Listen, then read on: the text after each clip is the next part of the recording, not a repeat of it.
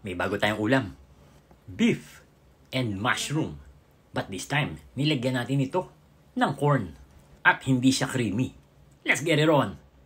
So bumili na nga tayo ng baka sa supermarket. At ito, yung napili natin. Beef tenderloin steak. Saktong-sakto to. Maninipis lang ito. Bumili na rin tayo ng isang pirasong mais. Pagdating sa bahay, hinugasan na natin yung mga beef. Nakita nyo naman, flat na. So, tinuyo na natin kasi nga eh, hinugasan. So, basa pa yan. Then, tsaka natin hihiwain no ayon sa ating sukat. Yung tamang bite size lang. Ayan, okay na yan. Sa isang pan, maglalagay tayo ng konting mantika. Ito ay para hindi matunaw yung butter na ilalagay natin. So, tatandaan nyo yan pag maglalagay ka ng butter, konting mantika ang mauuna dapat. Mas maraming bawang, eh mas masarap. At pwede na natin ilagay yung ating mga beef.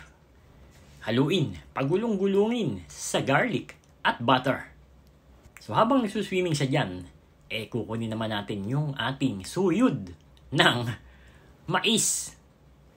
So tanggalin muna natin laman at baka mapuno eh.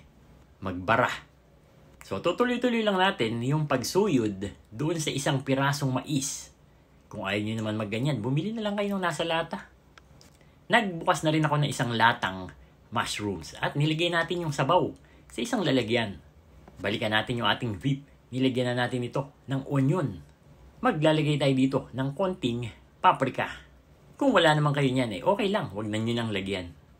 Ibuhos mo na ang button mushrooms at pagkatapos ay maglalagay tayo dito ng oyster sauce.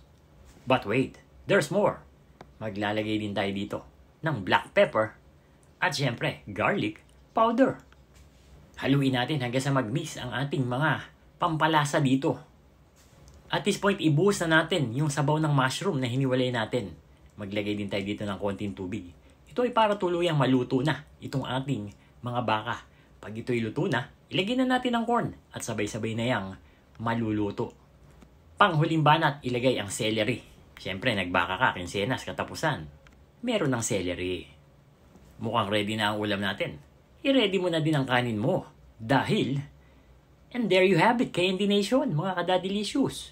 Ito, yung ating bagong version ng beef steak, mushroom, and corn ang bagong ulam na iyong kagigiliwan, tanghalian man or hapunan, wag lang pampulutan.